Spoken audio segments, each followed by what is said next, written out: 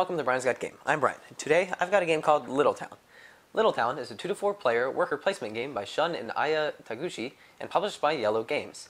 In this game, players are using their workers to gather resources to build a town. There are 12 randomly chosen buildings at the start of each game so that each game feels different.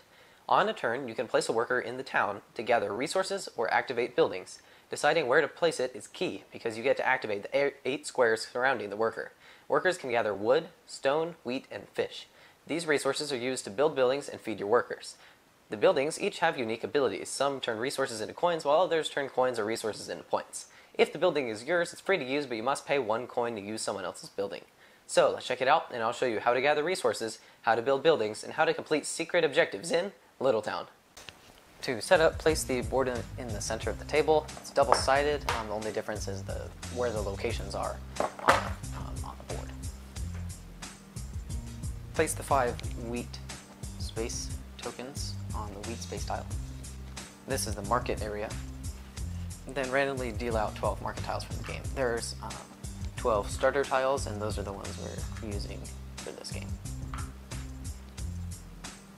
These starter tiles are indicated by a little bird in the top right corner of the little effects box on the bottom. Then deal out objective cards to each player. In a three-player game, each player gets three objectives. Then each player takes their pieces. So in a three-player game, each player gets four of these workers and six houses. And then place their score marker on the start space. Um, this means you remove one worker and one building tile,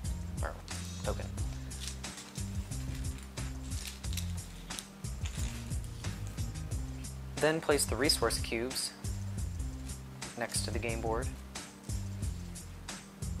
And each player takes three coins. And the rest becomes the bank. Place the round marker on the first round. These are the extra objectives and some extra point tokens I'm going to put by the bank. And then the first player is determined randomly. You are now ready to begin. The game is played in four rounds, and in each round you place your workers. You can either go to the town, or I guess right now it's an open field, or you can go to the market. If you go to the town, you can activate buildings and gather resources, and if you go to the market, you can build buildings. So, the first player will go first, and we will start by going here and getting, so when you place a guy on a space, you gather resources from all of the spaces, the eight spaces around it. So nothing from these, and you get one, two, three woods. So there are three squares where there are wood. So you get three wood resources. Then the next player goes. So we will go there and gather two woods and a water, or a fish. And then this player will go there and get one wood and two waters.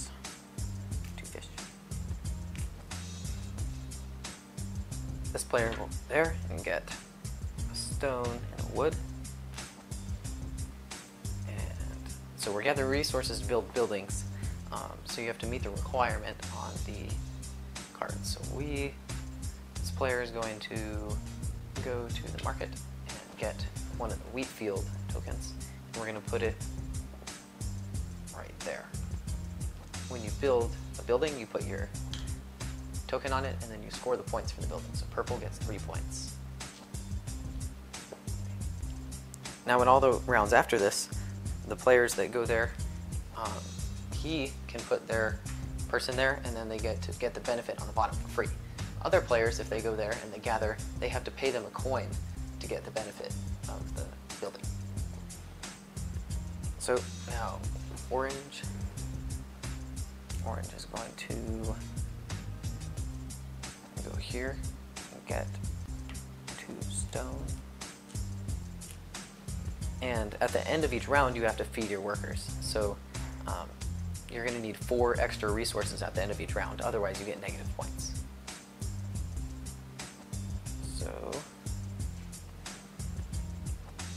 we're going to go here, get a wood,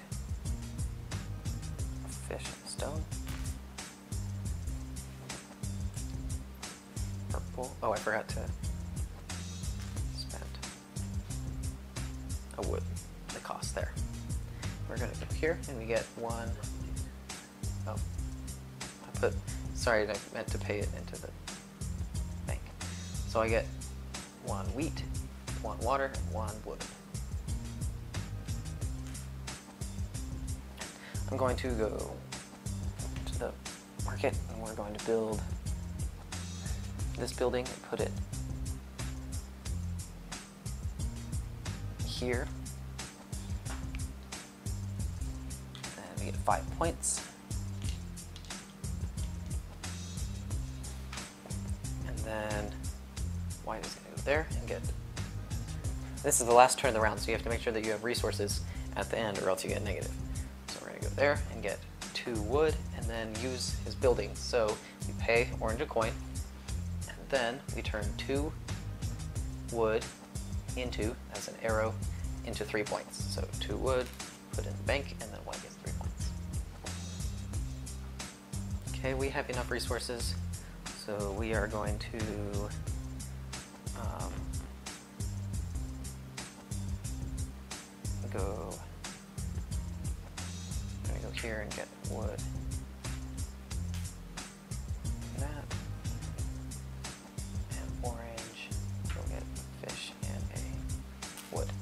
So now each player feeds their workers.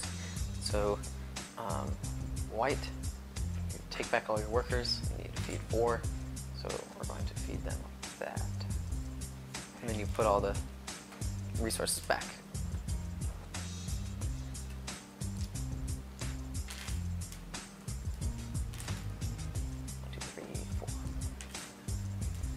If you don't pay, so if I didn't have enough, right now, if I had to pay workers, I would feed three of them and one of them would go without food. So that would give me negative three points, so you'd move back three. And you can go below zero and have to go back up again. So that's the end of the round. Then you move the first player marker to the next player. And you move the round marker to the next round. Don't forget to grab those.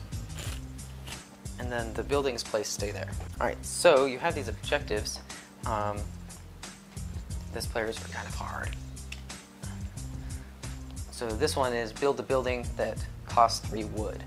So at least three wood. So that one would work, that one would work. So as soon as you do it, even on another player's turn, some of them can activate on other players' turns.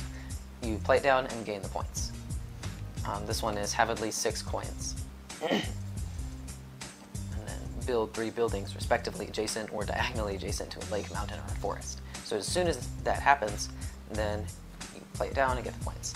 Now these um, little warning signs at the bottom mean that um, it can there has to be a building that qualifies for that. So if there isn't a building that costs three wood, then you can't use this objective. So you discard it and draw another one. So play continues, playing down your workers, picking up resources, using buildings, getting points until the fourth round has ended, and then you count up all the points um, that have been played out there, and the player with the most points wins. That's how to play Little Town. Okay, I've got my dad here for a parent's opinion. So, Dad, what did you think of Little Town? I really enjoyed Little Town. Worker placement is not my favorite of uh, mechanics in the game, uh, mostly because those tend to be longer games, and if you mess up early on, then you kind of suffer the rest of the time. Yeah. At least I do. Uh, but Little Town was much shorter, uh, and so I really enjoy- enjoyed this worker placement. Mm-hmm. Um, I guess we'll just jump right into the components. So Little Town has a bunch of super cool custom engraved wooden pieces. So it has these cool little workers that are all cut out and carved, and they're holding little axes. Um, and then there's also the little houses, which are cool, and then the stars, which interest- interestingly, um, they have a star and a little hole in the middle, so you can see the number. Oh yeah, I didn't even notice that. I saw that there was a cutout. and That Mm-hmm. was kind of cool. There's a first player or first player token. Oh, the big axe. Yeah, and then the round marker also is kind of cool too. Oh, yeah. So they did a really good job with all of the little bits. Yeah, they're super cool. They're all lots of extra designs on them. Um, it's a tile game, so there's a whole bunch of tiles, and then um, the coins are cardboard. And the board. So the board is double sided, Mm-hmm. uh, which is nice because on uh, on one side it's got resources starting in certain locations, um, and then if you flip it over, then It's different on the other side. right. So that adds to the replayability. Yep. Um, something that you're going to see a lot with this game is that it's super replayable because it has all the all the different buildings that can be mixed and matched, the two different sides of the board, um, all the different cards, the special um, Objectives. objectives come out in different orders. There's just a lot you can do. Um, artwork. So this has super cool artwork. I don't know who did it. Yeah, I'm not sure. It's really cool though. The box is super pretty, and then also the um, landscape on the board, and then just the graphic design on the cards, and All the little buildings. all the buildings are cool. Yeah. Yeah, so this was originally published in Japan. Uh, I forget what the name of it was called, Probably can't say it. but it was a couple years ago. And so IELLO picked this one up. They did what IELLO does. They put amazing artwork on it, um, and then brought it, you know, for the whole world uh, to see. So Yeah. uh, they did a really good job with with the artwork. Um, so to strategy, um, something that I've seen in this game is that usually the people who win tend to make these little machines. So you go, you get some wood, turn in wood for money, take the money, get points. Yep. Or get some stone, turn in the stone for points. Yeah, and this is really one that benefits the player who's played it more. Um, as you know, like like there's twelve tiles that you're supposed to play to start, right? And that kind of gives you a, couple of different options to build your little engines.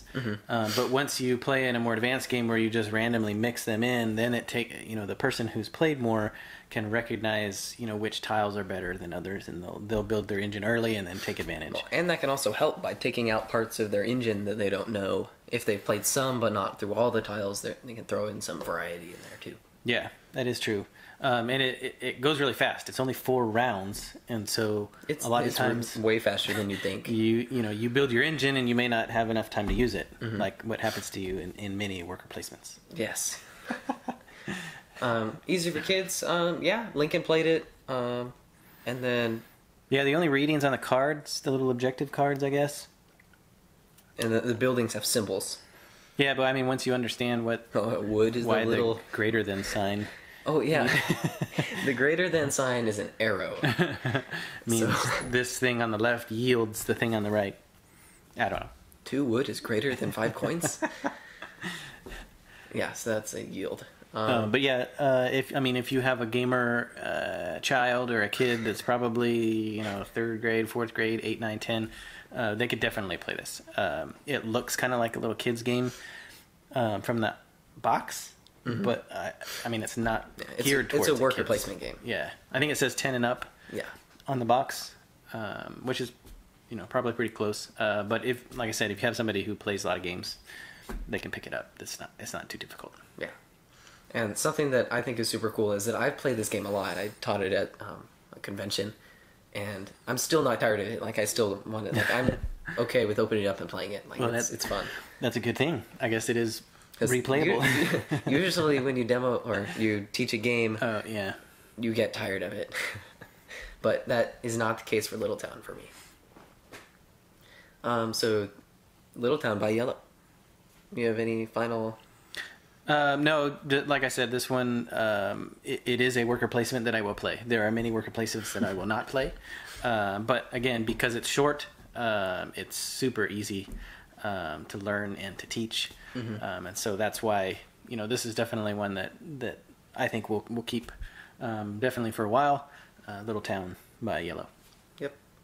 Thank you for watching. Brian's Got Game. Please like us on our Facebook page. Send us a tweet at Brian's Got Game. Visit our webpage, briansgotgame.com. Subscribe to our YouTube channel. I'm Brian, and this is my dad, and I'll see you next time.